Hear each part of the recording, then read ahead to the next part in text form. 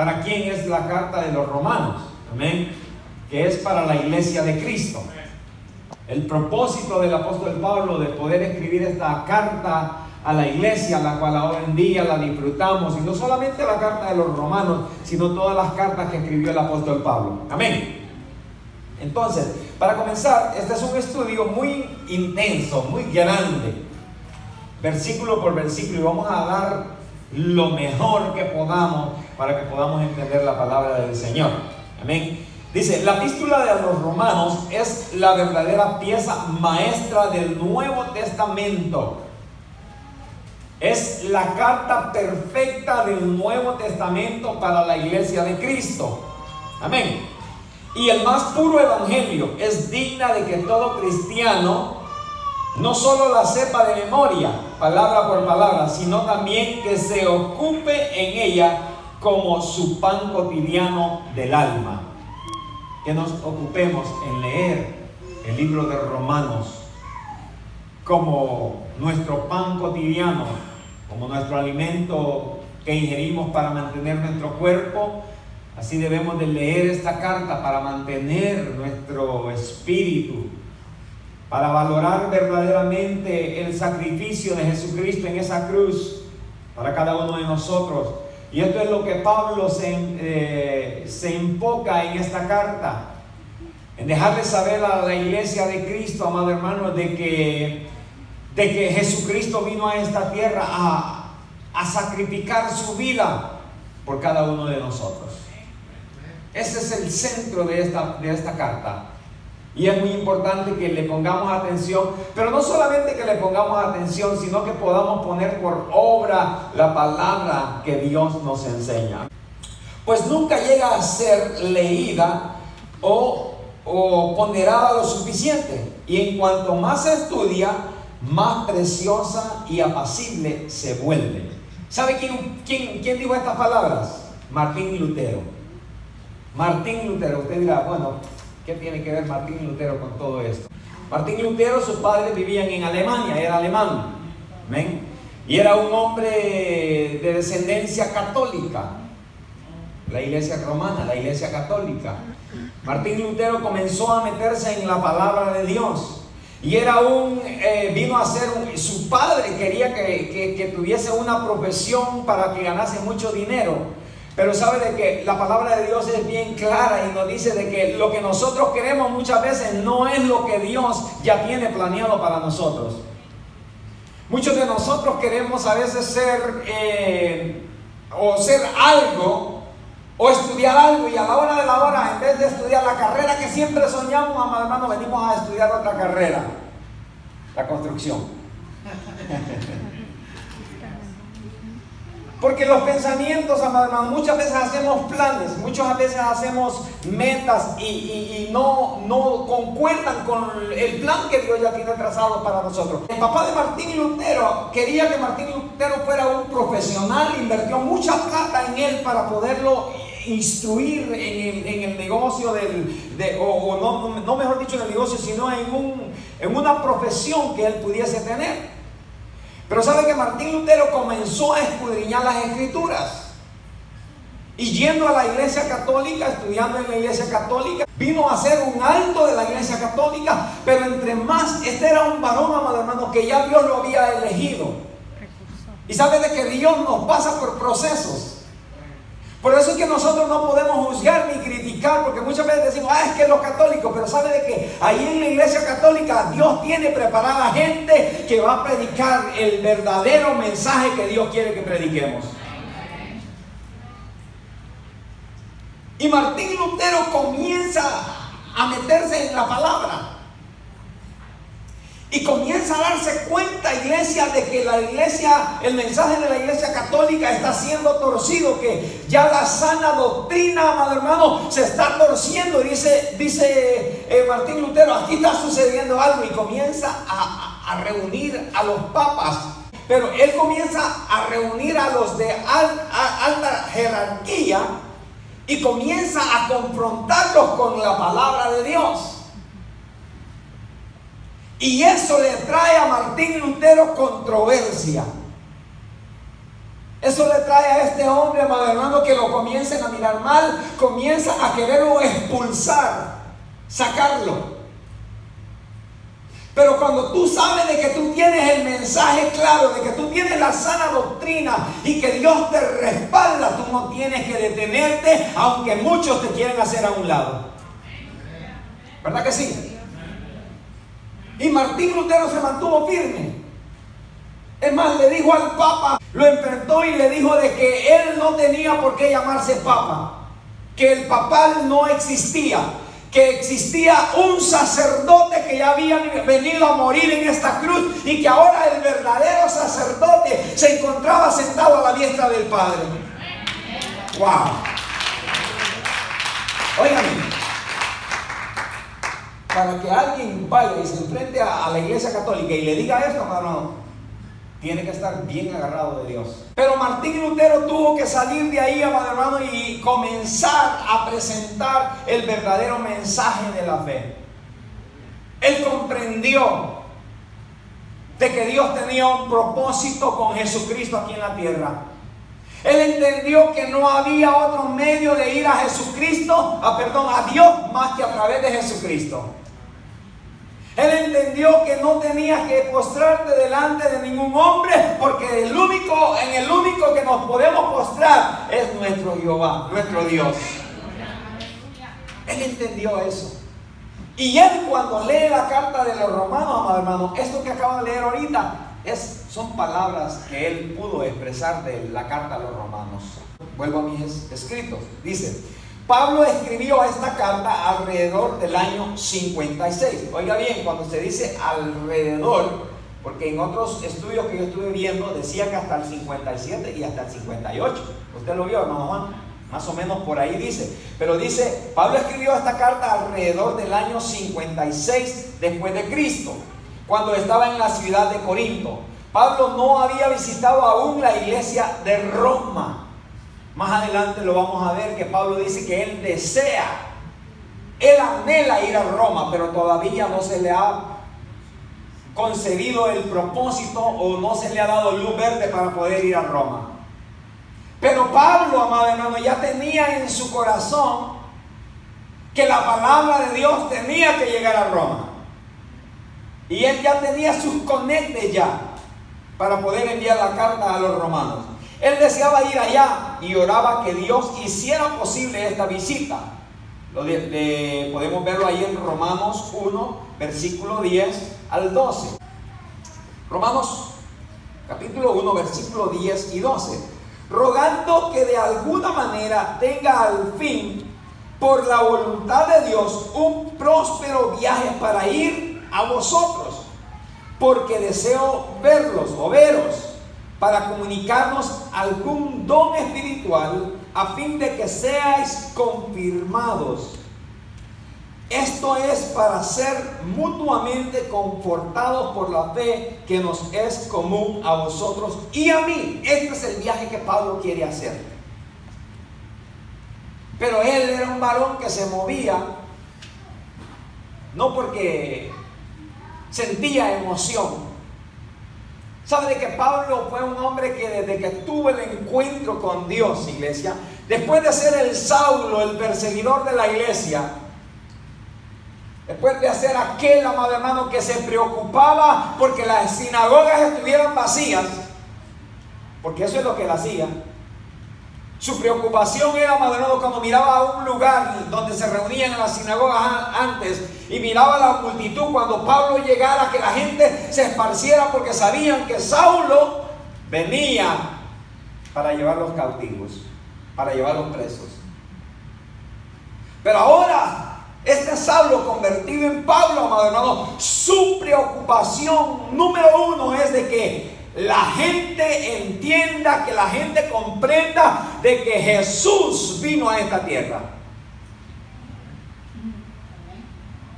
¿Y cuál es la razón por la que Jesús vino a esta tierra? De presentar el, el, mensaje de salvación. Después de correrlos, ahora se preocupa por darles el regalo de la gracia. Ojalá y nosotros aprendamos algo de Pablo a través de, estudio que vamos a estar teniendo y que lo podamos poner por obra, porque es muy importante que pongamos las cosas por obra. Esto hace que la carta a los romanos sea especial.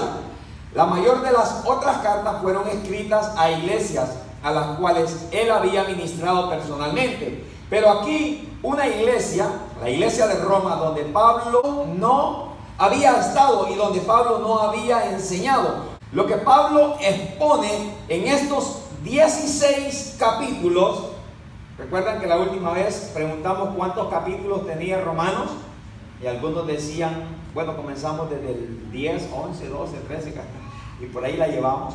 Son 16 capítulos eh, la carta a los romanos. Amén. Estos 16 capítulos es nada menos que una obra doctrinal maestra. Cuando se habla doctrinal maestra, ¿es para quién? Para la iglesia de Cristo. Doctrinarnos en la palabra, enseñarnos la palabra.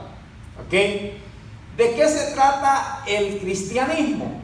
¿Cuál es su mensaje central? ¿Cuál es el verdadero evangelio de Dios? ¿Cuáles son realmente las buenas nuevas de salvación? ¿Qué clase de mensaje predicaba el más grande de todos los apóstoles de la iglesia donde quiera que fuera?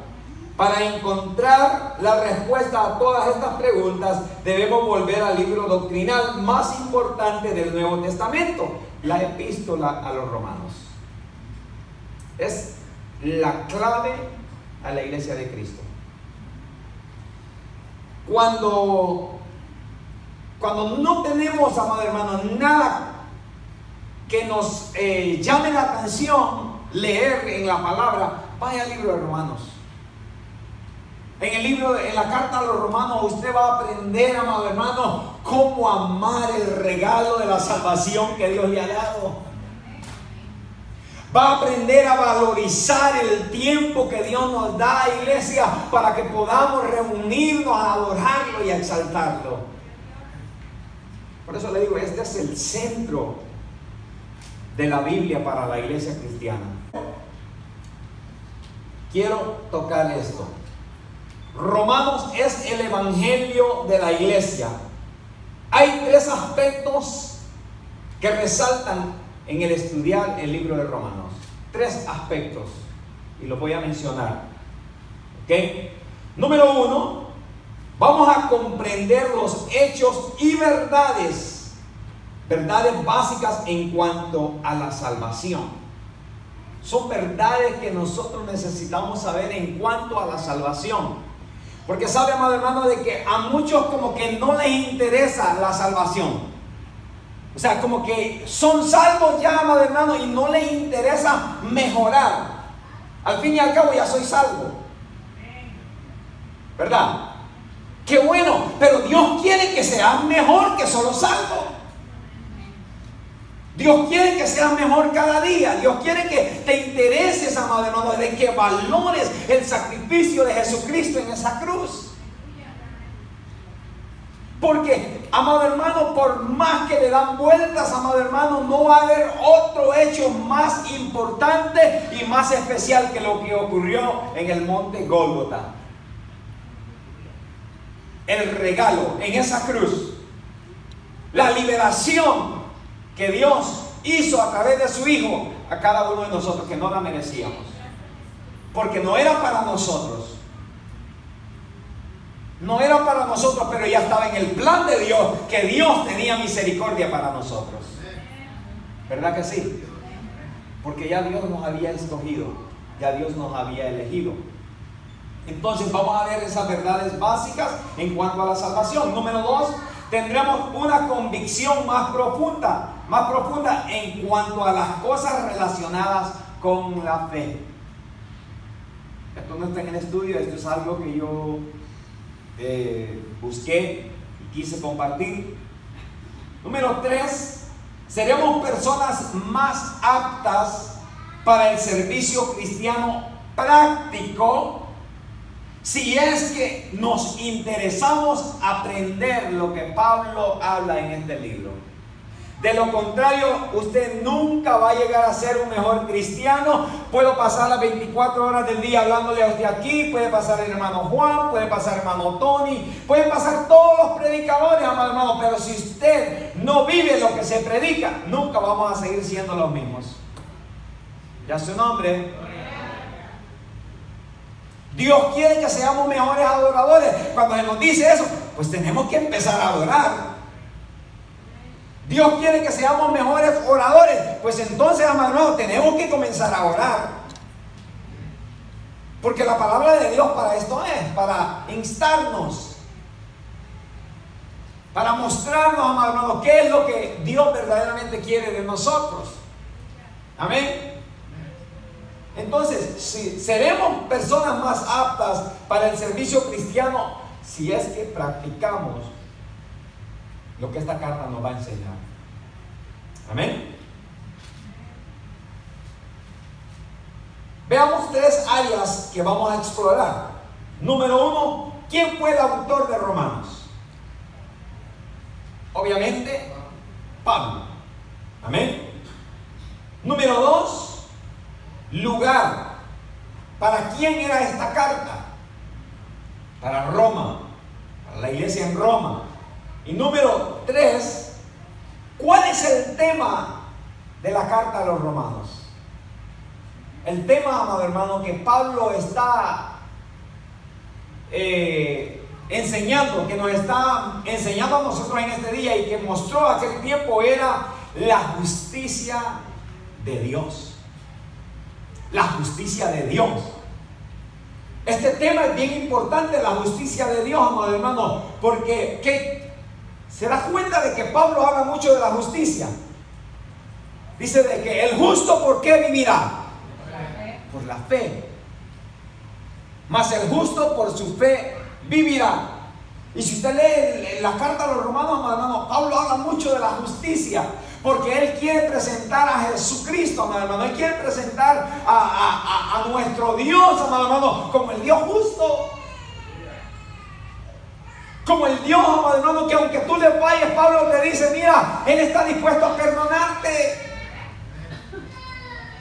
Levántate, no te quedes ahí. Dice, dice el apóstol Pablo, Él vino a perdonar. La justicia de Dios es grande en nosotros. Pero muchas veces, hermano, nosotros como seres humanos no permitimos que nos juzguen. Nosotros mismos nos juzgamos. Nos juzgamos, nos, decimos, soy tan malo, soy tan inmerecedor, en lo que yo hice no tiene perdón. Pero ¿quiénes somos nosotros? Si el regalo de la salvación fue dado a nosotros a través de Jesucristo y dice de que nosotros ahora somos sus hijos y que en Él tenemos perdón y que en Él tenemos descanso. Y eso es lo importante, amado hermano, de que el apóstol Pablo quiere presentar la justicia de Dios a través de esta carta. ¿Ok? En el Antiguo Testamento Moisés fue el hombre que se le entregó la ley. Recuerda. Moisés fue el hombre, amado hermano, que se le entregó la ley. ¿Ok? Se le entregó la ley, la historia, la poesía, profecía y los evangelios. Moisés era una persona muy importante para Dios, pero también para el pueblo de Israel. Hasta el día de ahora, amado hermano, usted puede hablar mal de Jesús para algunos judíos. Oiga bien, esto está pesado, ¿verdad? Usted puede hablar a lo mejor mal de Jesús, pero no hable mal de Moisés. Porque usted les toca a Moisés, amados para ellos Moisés es Moisés. Y para nosotros también es Moisés. Pero nosotros entendemos que Jesucristo está arriba de Moisés. Porque la palabra no enseña de que a Moisés se le fue dada toda la autoridad. La palabra enseña de que en Jesucristo fue depositada toda la deidad de Dios. Oh, dile palmas al rey.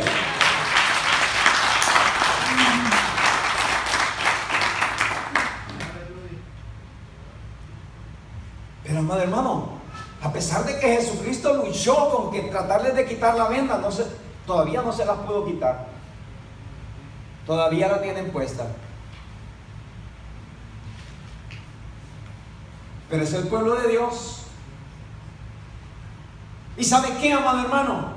Aunque nosotros muchas veces decimos, ya no le vuelvo a fallar a Dios. Tardamos como el, como, como el apóstol Pedro, amado hermano, decimos, no te voy a negar más, no te voy a fallar más, Señor. Y cuando menos acordamos, ¡pum! otra vez. ¿Verdad que sí? ¿O solo a mí me pasa esto?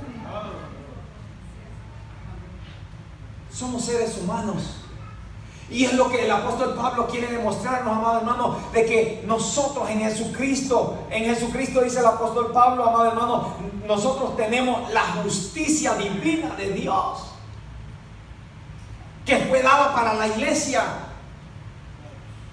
Dios no nos quiere destruir, iglesia. Dios no nos quiere arrancar de este planeta. Si Él lo quisiera hacer ya, uh, ¿desde cuándo lo hubiera hecho?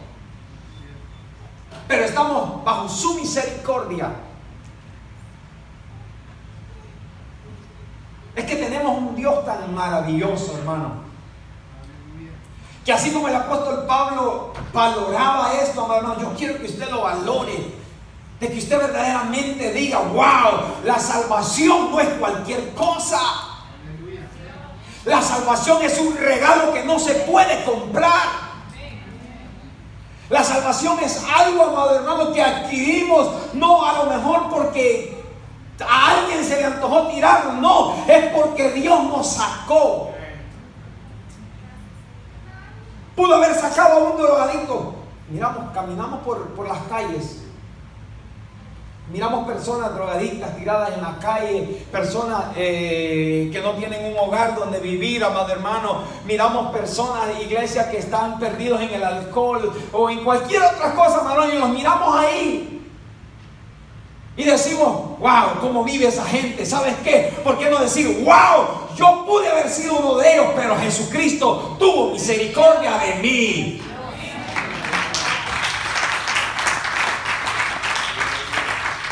Yo pude haber sido uno de ellos.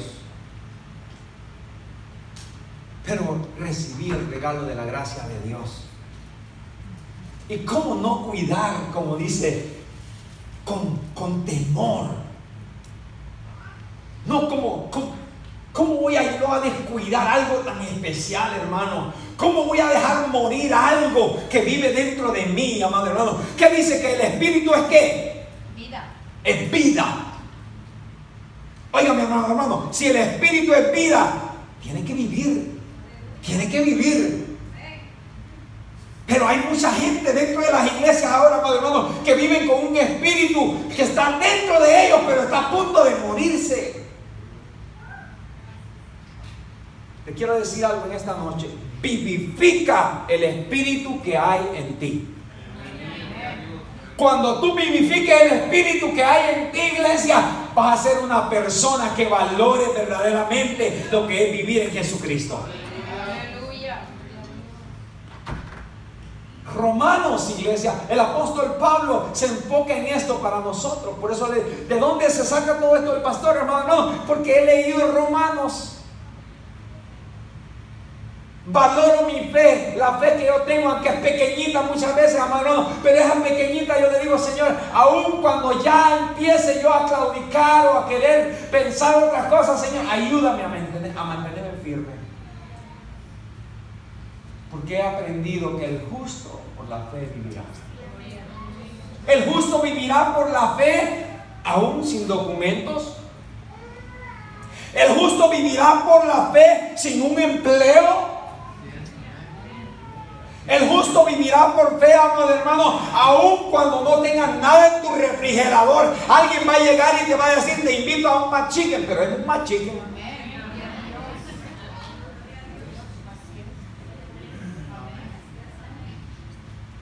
Porque vivimos por fe.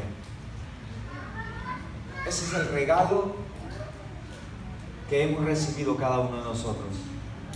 Y vale la pena valorarlo. Aleluya. Entonces ya tenemos las tres áreas que vamos a explorar. Luego las vamos a estar tocando. Ahora bien, esto fue Moisés en el Antiguo Testamento. Ahora, en el Nuevo Testamento, que epístolas o cartas fue el último, Pablo fue el último de los apóstoles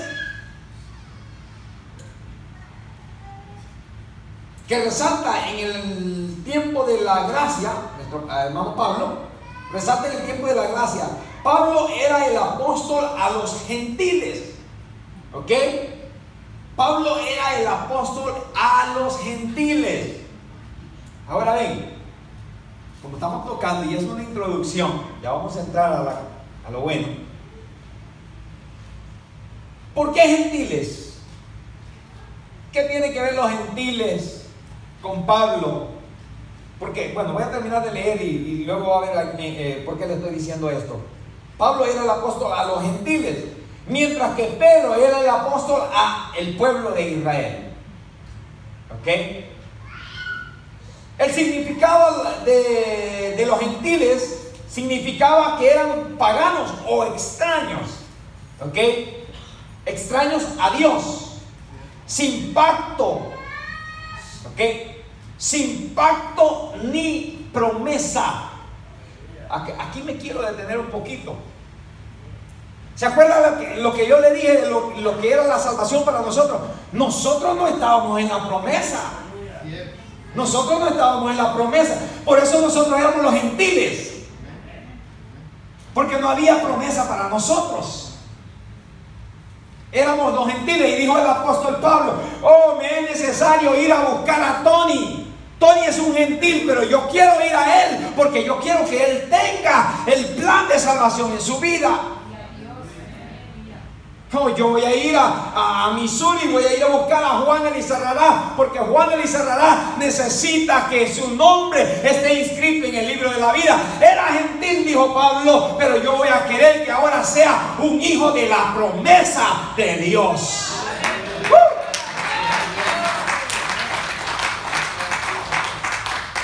Qué, qué bueno Dios, ¿verdad?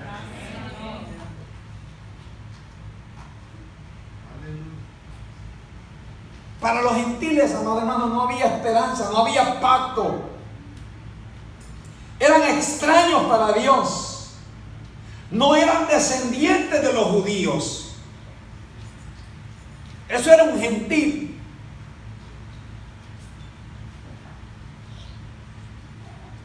Nosotros vivíamos así también. No había promesa, no había esperanza, pero estábamos en la mente de Dios. Porque Dios nos creó. Dios nos hizo a su imagen y a su, semejanza, dice la palabra. Y hay, hay, hay planes, amado hermano, de que nosotros no los entendemos ni los comprendemos, pero nada sucede por coincidencia. Todo sucede porque Dios ya tenía su vista puesta en nosotros. Ese es el Dios que nosotros tenemos. Pedro, Pedro era el apóstol, hermano, a los, al pueblo de Israel, a los judíos. Si hubiera sido por Pedrito, quién sabe cómo nos hubiera ido. Pedro decía, estos son los míos. Vaya conmigo a Gálatas Gálatas capítulo 2, versos 8 y 9.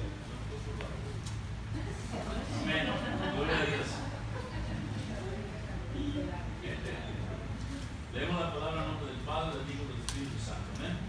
Pues el que actuó en Pedro para el apostolado de la circuncisión, actuó también en mí para con los gentiles, y reconociendo la gracia que me había sido dada, Jacobo, Cephas y Juan, que eran considerados como columnas, nos dieron a mí y a Bernabé la diestra en señal de compañerismo, para que nosotros fuésemos a los gentiles y ellos a la circuncisión.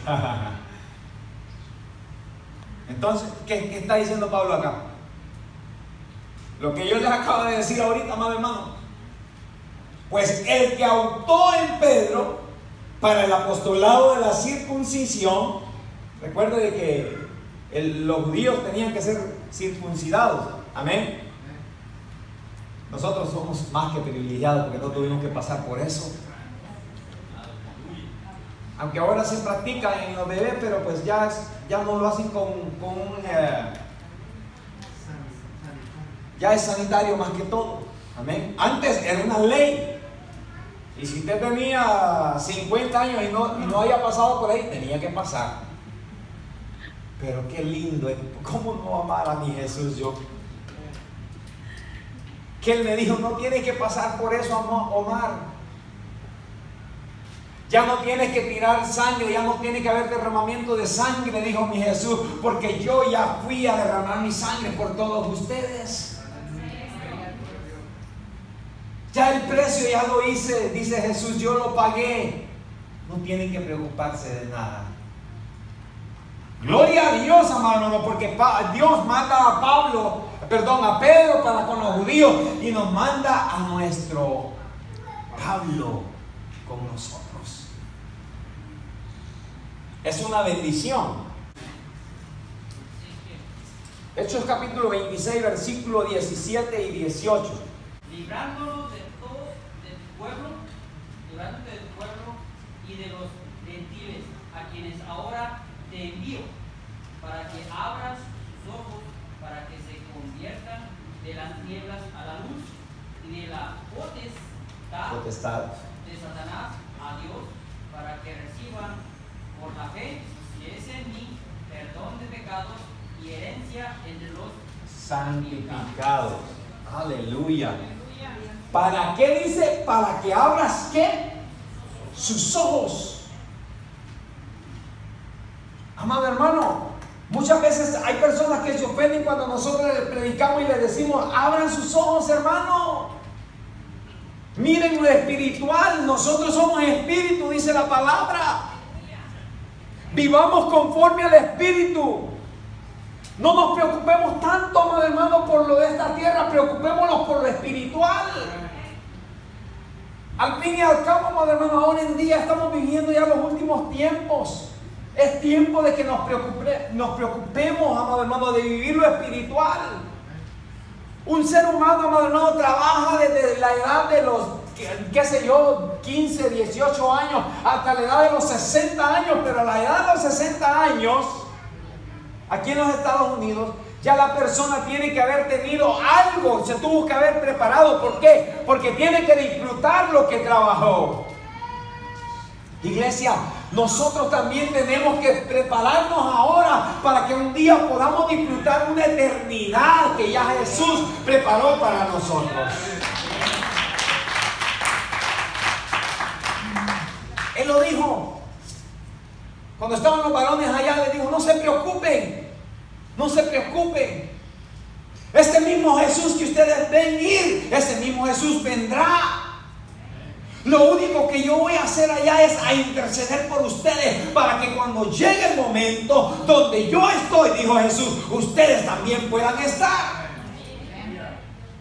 Es momento, amado hermano, es tiempo de proceso nomás tiempo de proceso. Porque ya Dios lo tiene todo preparado. Gloria al Señor. Entonces, ya dejamos a Saulo atrás.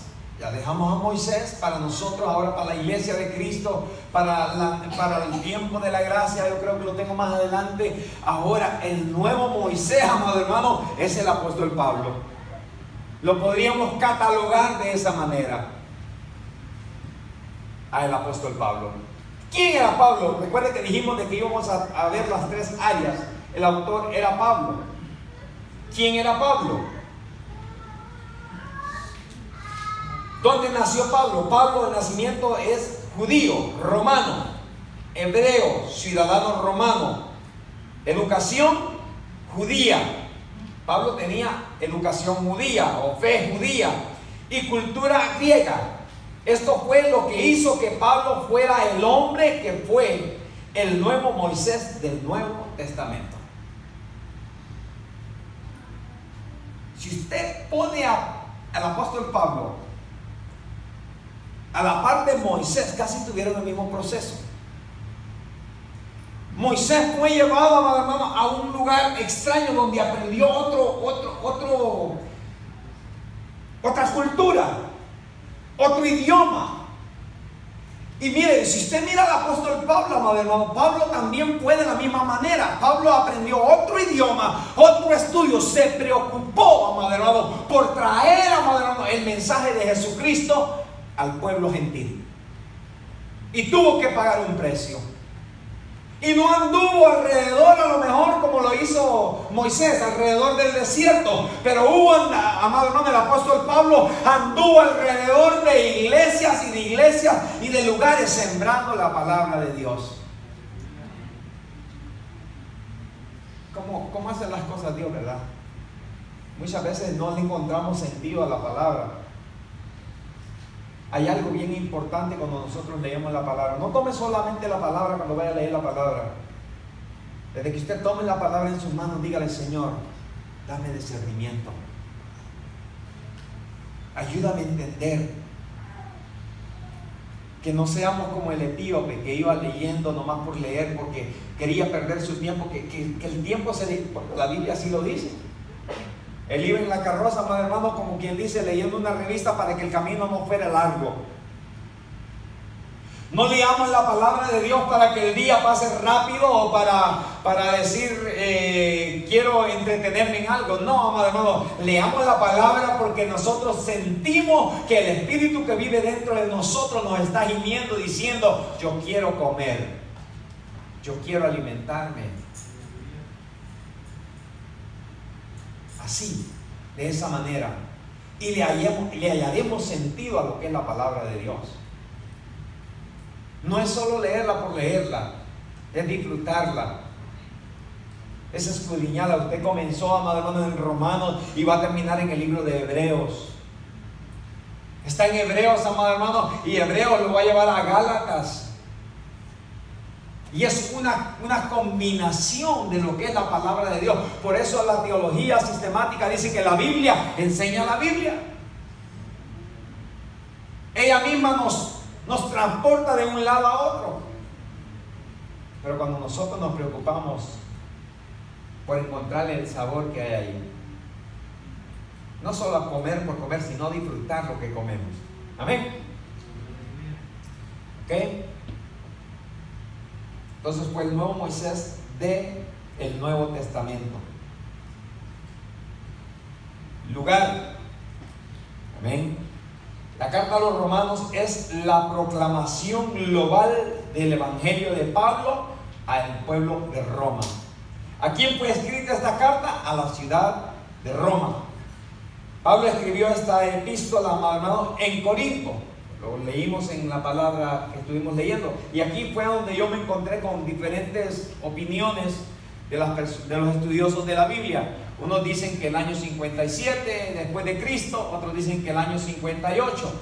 Pero pues lo importante que ahora en el 2019 nosotros estamos disfrutando la carta de Pablo. Y eso es lo importante para nosotros. Amén. Ok, eh, bueno, voy a terminar aquí y luego quiero leer el, el contenido de la palabra, el, el resumen que da el apóstol Pablo. Roma era grande y nunca había una iglesia ahí. Pero, que, pero creemos que Pablo fue el fundador de esta iglesia. Usted me dirá, ¿cómo Pablo pudo fundir la iglesia o comenzar esta iglesia si Pablo todavía, lo que acabamos de leer al principio, dice de que Pablo no había ido todavía a Roma? Bueno, podemos decir de que el apóstol Pablo, amado hermano, comenzó a abrir esta, esta obra a través de eh, personas, de sus amigos, colegas, que podían entrar a aquel lugar, que tenían carta libre para poder entrar, porque él todavía no la tenía, dice la palabra. Y a través de ellos, amados hermanos, se le da, se le reconoce que Pablo fue el que inició la iglesia en Roma. Amén. Eh, Hechos capítulo 18,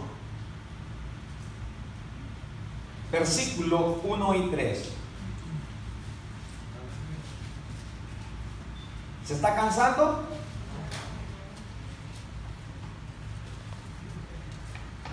Casi digo sí diciendo.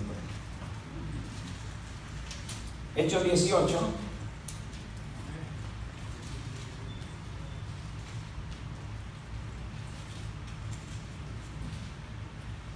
Vamos a leer el versículo del 1 al 3.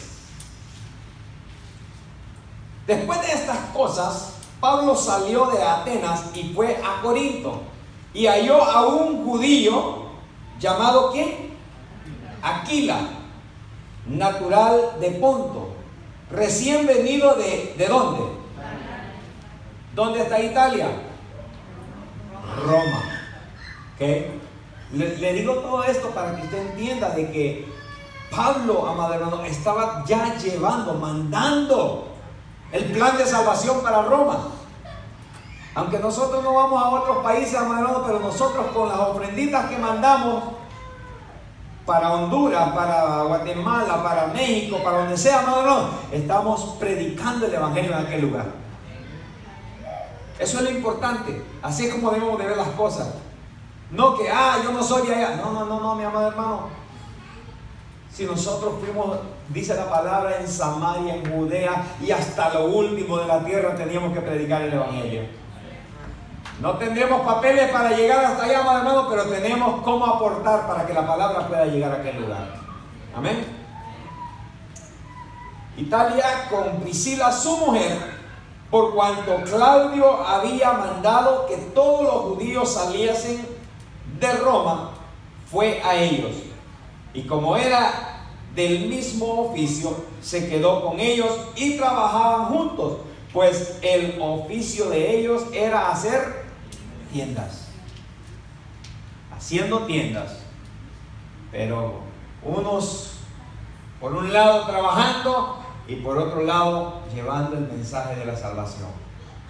Así como nosotros en nuestros trabajos trabajando, pero por otro lado, amado hermano, con nuestro compañero diciéndole de que en Cristo hay esperanza, de que en Cristo hay poder. Muchas veces creemos que la gente que tiene dinero no necesita a Dios, saben que son los que más necesitan a Dios. Le voy a contar esto de pasadita. Eh, los inversionistas que compran los apartamentos Tenían un complejo de apartamentos, Tony lo conoció, él fue a hacer unas ventanas allá y lo vendieron. Parece que fueron 17, 17 millones que vendieron ese, ese eh, complejo de apartamentos. El hombre que lo compró no tenía todo el dinero, buscó 17 personas para poder ajustar cada quien un millón para poder comprar el complejo de apartamentos. Los compraron, creo que hace más o menos, esto fue hace un, menos de un año todavía. Para el 24 de este mes se cumple un año. Compraron los apartamentos, amados hermanos, los apartamentos medio se arreglaron. Yo no trabajé ahí, por eso no he terminado de arreglar bien. es cierto. Pero lo vendieron, medio los arreglaron, pero esta gente pensó a lo mejor que iban a tener eh, mucha más ganancia, porque esto va de negociante a negociante. Lo compra un broker y aquel le gana un millón y lo vende y así va esto. Resulta, madrona, de que el hombre, los amigos que él convocó, como que no les explicó bien las cosas como estaban y comenzó la controversia. Y comenzaron a, pelearse entre ellos mismos. ¿Sabe qué sucedió? El hombre que firmó los apartamentos la semana pasada se sintió que no podía más con todo, agarró una pistola y se quitó la vida. Por un negocio que no le trabajaba. Wow, ¿verdad? Pero ¿saben que eso ocurre cuando Jesús no mora en nosotros? Puedes tener cinco casas. Puedes tener el mejor carro. Puedes haber hecho el mejor negocio del mes. Pero si en ese mes no te acordaste de Cristo, estás perdido. Porque en ese segundo el enemigo viene y te tienta y te vas. Te vas para abajo. El dinero no lo es todo, hermano. Entiéndalo, el dinero no lo es todo. No sé si lo van a poner de venta o no, no me interesa, pero me llamó la atención que haya recibido esta noticia ahora en día, ahora me la dijeron. Esto me enseña a mí, amado hermano, de que nosotros muchas veces dinero de Cristo. Yo le he hablado a mis patrones, Tony conoce a uno de ellos que tiene una boca más grande, amado hermano, que a saber qué. Pero yo ya le he presentado a Cristo. Él conoce quién soy yo, Él sabe de que yo conozco a Cristo, Él sabe que yo soy pastor de esta iglesia. Pero, amado hermano, lo único que recibo de Él siempre son cosas negativas. Pero mi deber es presentarle el plan de salvación. El apóstol Pablo, amado hermano, él no se fijó de que no eran judíos. Él lo que se fijó es de que tenía un llamado y dijo, Jesucristo vino por ellos. Y es importante de que el sacrificio que Cristo hizo en esa cruz no sea solamente para un millón, sino que sea para millones de millones, porque por ello vino Jesucristo. Es su trabajo, es mi trabajo presentar el plan de salvación. Donde quiera que estemos, donde quiera que andemos. Porque la persona que tenemos a nuestro lado, a lo mejor ni siquiera sabemos, está queriéndose suicidar. Y nosotros tenemos, ¿qué dice la palabra? Palabras de vida.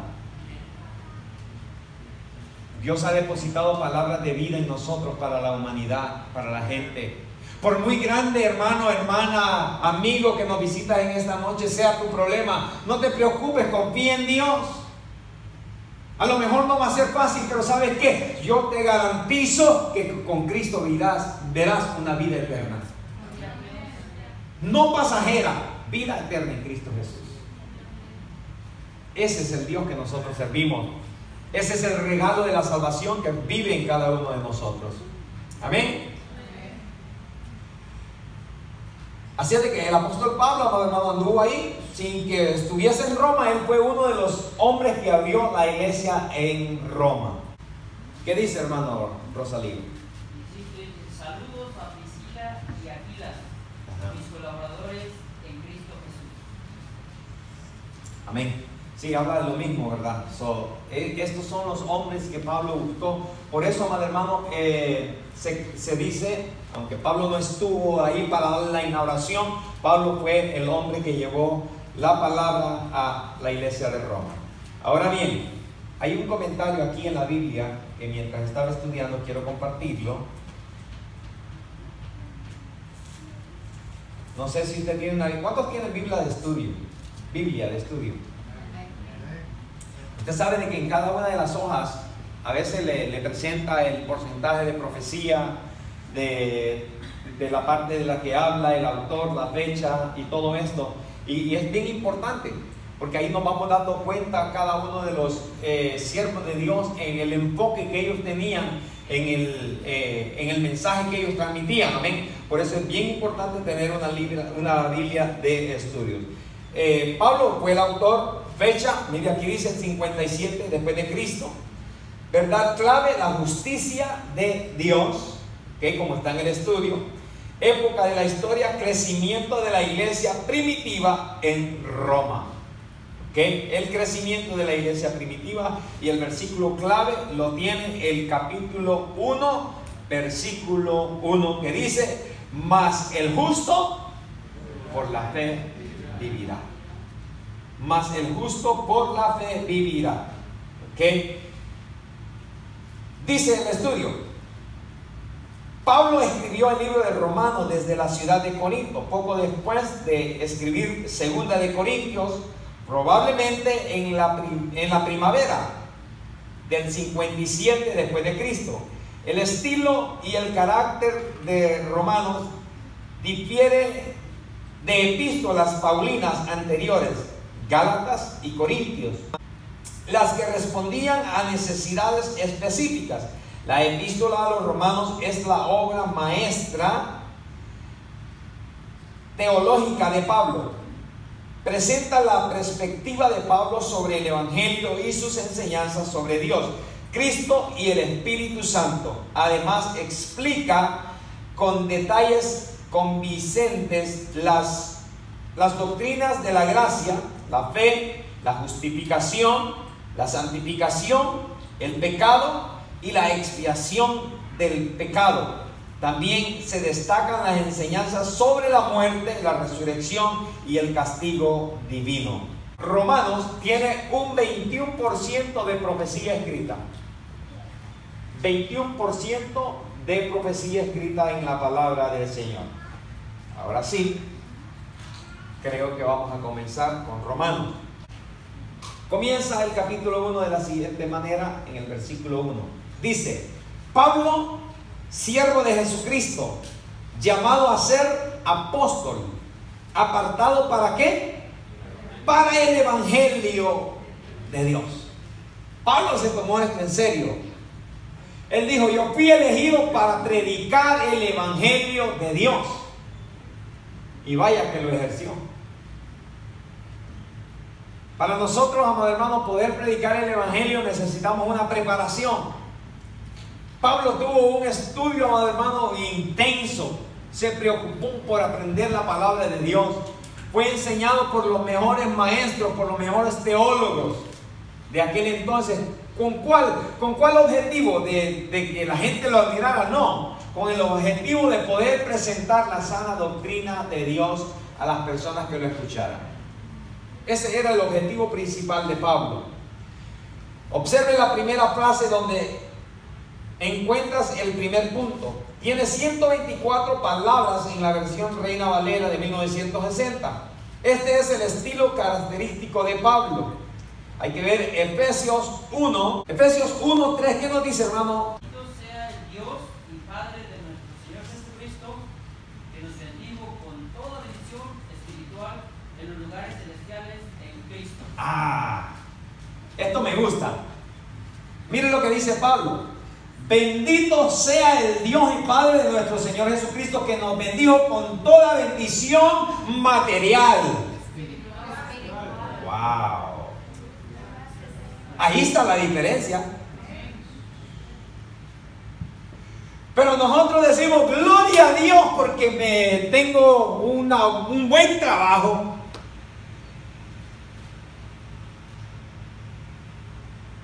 Le doy gracias a Dios por lo que me dio.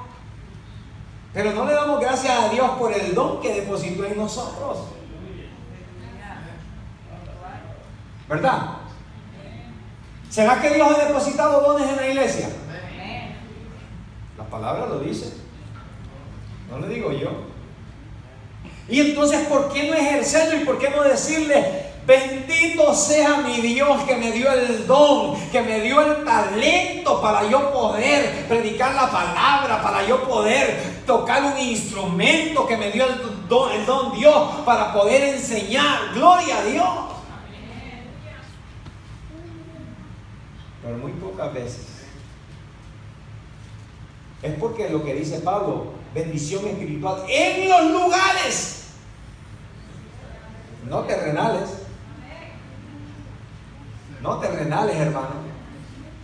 Ya Pablo está viendo en los lugares celestes, en la gloria. ¿Qué le quiero decir con todo esto? A lo mejor ya me tiene aburrido el pastor de estar hablando de que, de que preocupámonos tanto aquí que haya. No, no, no, hermano. Lo que yo quiero es que tú te metas en la cabeza, amado hermano, de que es bueno tener en esta tierra, pero es más importante tener allá arriba eso es lo más importante.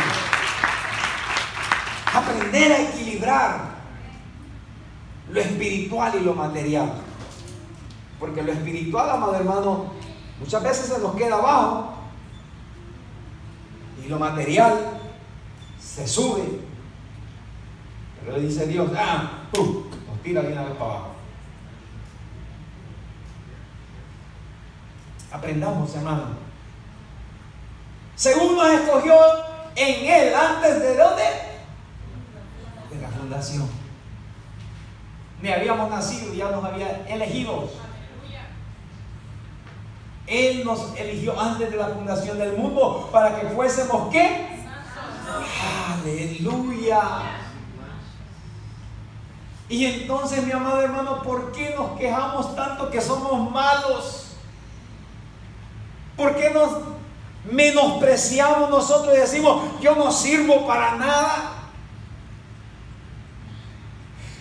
Si delante de la presencia de Dios somos santos y somos hallados puros, limpios.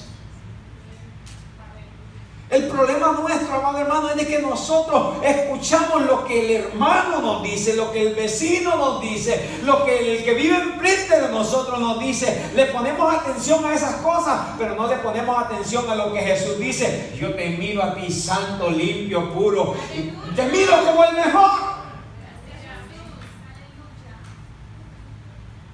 Así nos mira Jesús. ¿Será que vale la pena valorar el regalo de la salvación? ¿Verdad que sí? Es lo mejor.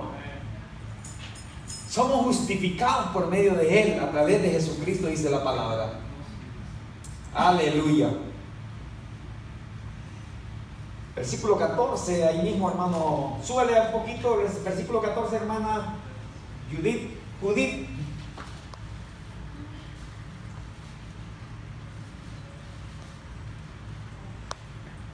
Dice que es las arras de nuestra herencia hasta la redención de la posesión adquirida para alabanza de su gloria. ¿Hasta cuándo? Hasta la posesión adquirida. Adquirida para alabanza de gloria de Dios. El apóstol Juan tenía un estilo diferente, frases cortas y sencillas, sin embargo profundas. Nos da una cita aquí en Juan y la vamos a tener que ver porque para eso estamos en el estudio. La doctrina correcta en cuanto a la inspiración de las escrituras va más allá de la idea de un dictado mecánico. Las diferentes personalidades y estilos de los escritores humanos son claramente observables. Los que escribieron esta sin error y es y exactamente lo que Dios quería decir. ¿Ok? Cada escritor bíblico tenía un propio estilo y, carácter, sin embargo, Dios lo usó como sus escribientes para anotar exactamente lo que el Señor quería que fuese, fuese incluido en su palabra. Vaya conmigo a primera de, segunda de Pedro. Esa es la que busqué, pero no decía nada de eso. Decía de que el amor, algo así, el que no ama. De manera sencilla, el que Juan hablaba, pero era profundo. Ay, ay, ay, ese era el punto. Eso, eso, es lo que está diciendo. Es cierto, lo vamos a leer. Léalo, hermano Juan. Dice, el que no ama no ha conocido a Dios, porque Dios es amor. Amén. Es un lenguaje sencillo, Ajá. pero lo que está diciendo es la profundidad de lo que está El, el mensaje que está transmitiendo. El que, muy fácil. El que no ama, ¿por qué? Que no ha conocido a Dios. Porque Dios, amado hermano, Dios es amor. Y si nosotros no amamos la salvación es porque a lo mejor no hemos conocido a Dios. Y es necesario que lo conozcamos. Porque cuando conocemos a Dios, amado hermano, conocemos muchas cosas. Dios lo llena todo en nosotros. Amén. Segunda de Pedro 1, 20 y 21. Amén, hermano. Entendiendo primero esto, que ninguna profecía de la Escritura es de interpretación privada, porque nunca la profecía fue traída por voluntad humana, sino que los santos hombres de Dios hablaron siendo inspirados por el Espíritu Santo. Santo de Dios. Así fue traída la profecía a través del Espíritu Santo. Amén. Toda la palabra que se fue escrita fue porque Dios usó estos hombres a través del Espíritu Santo para poder eh, escribir la palabra de Dios. Y nos confirma para qué fue escrita a través de eh, segunda de Timoteo 3:16. Edwin. Toda la escritura es inspirada por Dios y útil para enseñar, para redarguir, para corregir, para instruir en justicia, a fin de que el hombre de Dios sea perfecto, eternamente preparado para toda buena obra. Para toda buena obra. Ese fue el propósito de la palabra de Dios, que fuésemos perfeccionados para toda buena obra. Yo tenía esto, no iba a tocar el capítulo 1, yo sabía de que la, introducción iba a ser profunda, recuerden, lo estuve anunciando que solo íbamos a estar en la, la introducción, pero ya ahorita sí vamos a agarrar vuelo, amado hermano, y vamos a comenzar, no ahora, para el próximo martes. Creo que en algunas ocasiones voy a tener que meter una que otra clase los sábados.